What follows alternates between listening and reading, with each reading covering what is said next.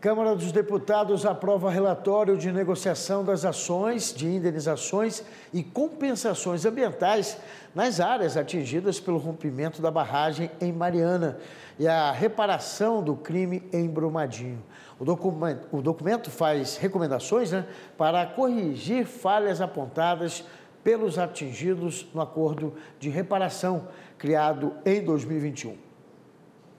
Duas cidades devastadas por uma tragédia. O rompimento das barragens de Mariana em 2015 e Brumadinho em 2019, em Minas Gerais, deixou um rastro de destruição ambiental e econômica nas regiões atingidas pelo rejeito de minério.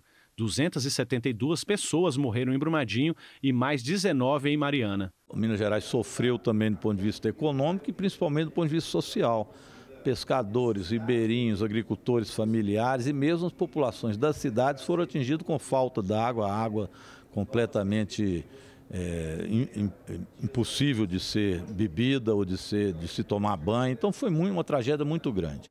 Para fiscalizar as ações de reparação aos danos causados nas duas cidades, uma comissão externa foi criada pela Câmara dos Deputados, responsável por elaborar um relatório com as demandas da população atingidas pelos rompimentos em ambas as barragens e cobrar os acordos já firmados. O acordo para ser assinado, ele depende dos dois estados, depende da União, mas também depende das empresas. Então nós queremos que as empresas elas assinem esse acordo para que não continue devendo ao povo brasileiro como ela deve pelo crime cometido.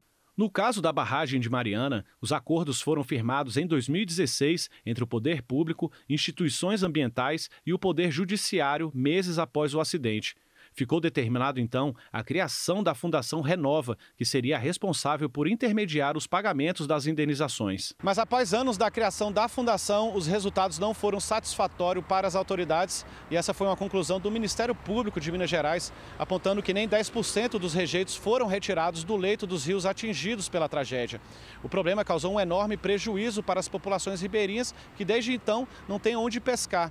Além disso, denúncias de favorecimento às empresas por parte da Fundação foram apontadas, prejudicando o acordo.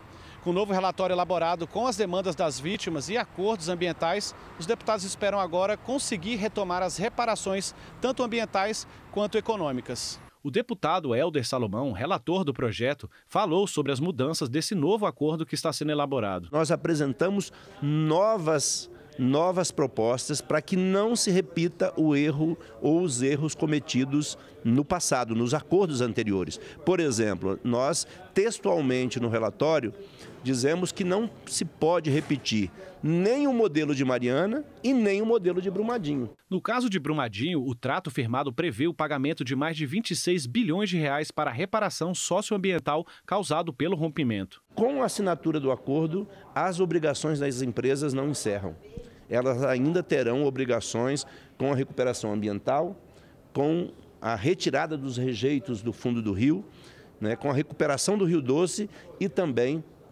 com a garantia de recursos para que nós tenhamos uma recuperação completa de, todas, de todos os danos causados pelo rompimento da barragem de Fundão em Mariana. A comissão agora espera conseguir que as empresas de mineração assinem um novo acordo. Então essas empresas elas estão sujas com o povo brasileiro e internacionalmente.